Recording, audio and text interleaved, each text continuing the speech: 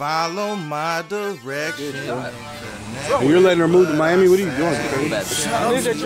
Make that money. She lives at your house, nigga. frame. So what?